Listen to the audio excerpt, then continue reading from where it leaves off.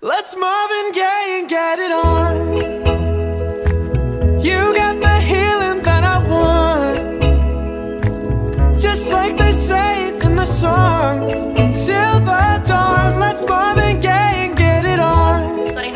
เจอกับอุ้มแล้วก็ไออุ้มรีวิวอีกครั้งหนึ่งนะคะ วันนี้อุ้มก็เอาของเล่นชิ้นใหม่ แล้วก็เป็นแกดเจิตที่ตอนนี้ทุกคนกำลังฮิตกันมากเลยนะคะ กับเจ้าตัวนี้เลย Mono View Duo นะคะ หลายๆ คนคงเห็นอุ้มเคยเล่นเจ้าล้อเดียวที่เป็นเอาขาหนีบไปตรงกลาง แล้วก็ขยับเลื่อนซ้ายเลื่อนขวากันไปแล้วกับพวก Air View นะคะ วันนี้อุ้มก็เอาสิ่งที่ต้องเรียกว่าเล่นได้ง่ายกว่านะคะ แล้วก็สะดวกกว่าในการขึ้นไปทรงตัวนะคะ จะเป็นยังไงนั้นเดี๋ยวอุ้มพาไปรู้จักกับเจ้านี่เลยค่ะ เจ้า Mono View Duo ค่ะ เรามาเริ่มด้วยการแกะกล่องให้ดูกันเลยนะคะ ว่านอกจากเจ้าตัวเครื่อง Mono View Duo แล้วเนี่ย ในกล่องเนี่ยจะมีอุปกรณ์อะไรมาให้อีกบ้างนะคะ เวลาสั่งซื้อจะได้รู้ว่าครบหรือไม่ครบนะคะ อย่างแรกเลยคือเจ้า Product Manual ตัวนี้ค่ะ เป็นวิธีการใช้งานนะคะ ก็จะมีวิธีการใช้งานตั้งแต่เริ่มต้นเลย ถ้าใครแบบเล่นไม่เป็นนะคะ ก็สามารถศึกษาได้จากคู่มือตรงนี้เลย แต่ว่าเอาจริงๆแล้วเดี๋ยวอุ้มจะสอนวิธีการใช้งานง่ายๆนะคะเพราะมันเล่นง่ายมากจริงๆถ้าเทียบกับไอ้เจ้าล้อเดียวแล้วอะค่ะ นอกจากนั้นนะคะ ก็ยังมีในส่วนของใบรับประกัน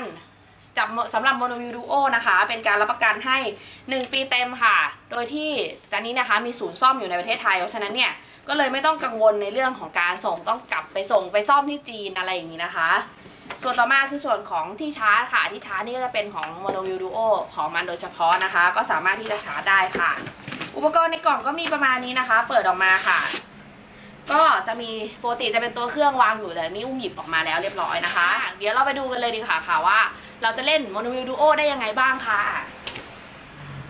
เรามาเริ่มรู้จักเจ้า Mono View Duo ตัวนี้กันดีกว่านะคะ ตัวเครื่องของมันเนี่ยจะทำจากพลาสติก ABS อย่างดีนะคะ ก็คือสามารถที่จะลุยน้ำได้พอสมควรแล้วก็สามารถที่จะวิ่งได้ตามท้องถนนได้นะคะล้อของมันนะคะก็มีขนาดไม่ใหญ่มากนะคะ เหมาะสำหรับการพกพาแล้วก็ ด้านหน้าเนี่ยจะมีเขียนไว้ว่าชื่อ Mono View Duo นะคะ ส่วนด้านหลังค่ะ ด้านหลังตรงนี้นะคะก็จะมีอ่าตรงนี้เป็นปุ่มเปิดปิดนะคะ แล้วก็จะมีตัวที่เป็นเสียบชาร์จ แค่นี้เองค่ะ อุปกรณ์ง่ายๆของเจ้า Mono View Duo นะคะ ส่วนด้านหน้าอีก 2 อย่างที่แบบเท่มากๆผมชอบมากก็คือไฟ LED ทั้ง 2 ด้านนะคะ วิธีการใช้งานนะคะอุ้มก็แค่กดเปิดนะคะ ที่ปุ่มด้านหลังตรงนี้เ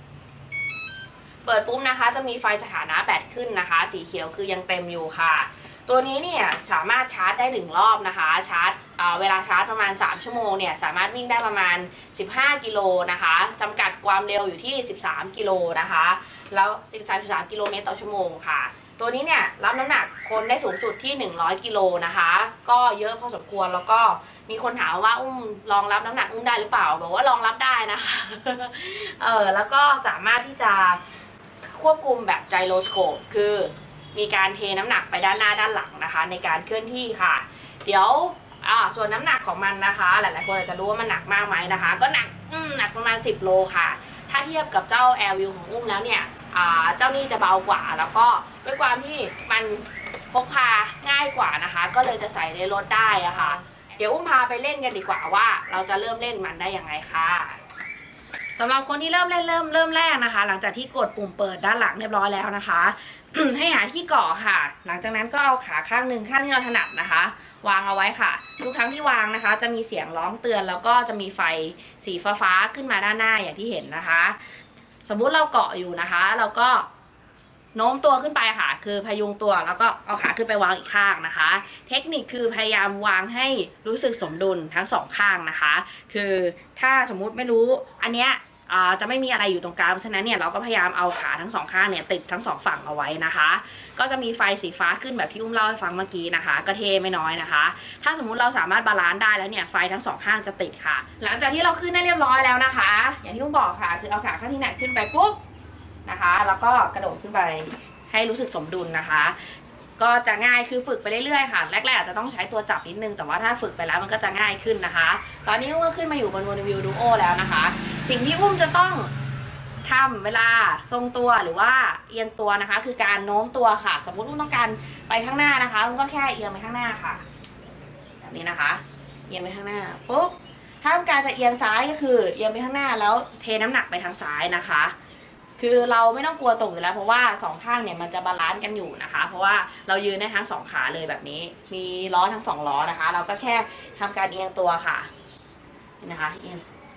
เทน้ำหนักไปข้างหน้าค่ะ ถ้าสมมติการต้องหมุนก็คือเทน้ำหนักไปด้านซ้ายหรือว่าขวาตามที่เราต้องการแบบนี้เลยนะคะ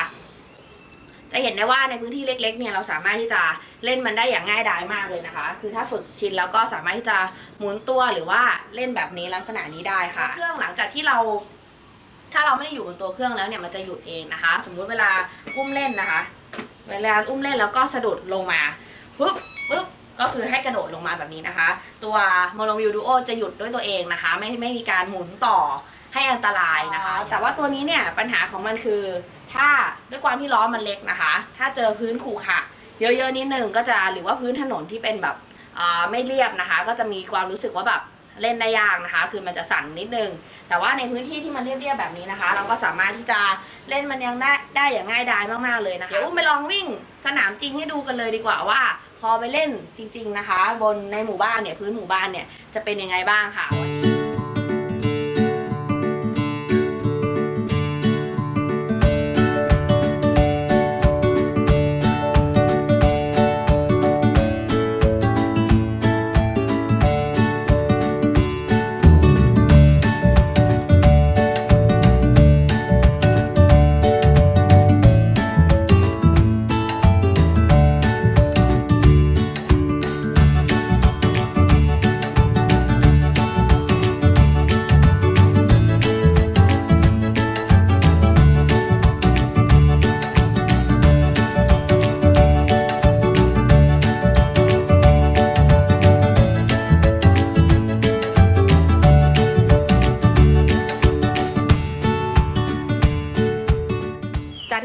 กี้นะคะ ก็จะเห็นได้ว่าเจ้า Mono View Duo เนี่ยสามารถเล่นได้อย่างง่ายดายนะคะ แล้วก็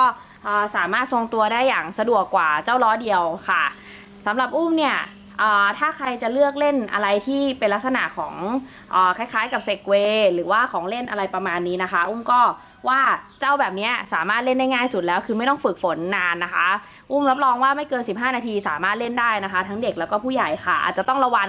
ระวังขาขึ้นกับขาลงนิดนึงนะคะ แต่โดยรวมแล้วค่ะ เจ้าตัวนี้เนี่ยถือว่าโอเคเลยสำหรับอุ้มแล้วก็สามารถที่จะเล่นในหมู่บ้านอย่างที่อุ้มบอกไปว่าถ้าออกถนนขู่ขระเนี่ยอาจจะลำบากนิดนึง แต่ว่าถ้าเป็นถนนอย่างที่อุ้มเล่นเมื่อกี้นะคะ ก็สามารถวิ่งในหมู่บ้านได้อย่างสบายๆค่ะ หรือว่าในออฟฟิศในโรงงานอะไรอย่างนี้นะคะ ก็สามารถที่จะใช้ในการตรวจงานได้ แล้วก็รับรองว่าไม่ล้มหัวแตกแน่นอนค่ะอุ้มก็ฝากเจ้า Mono View Duo ตัวนี้นะคะ ราคาอยู่ที่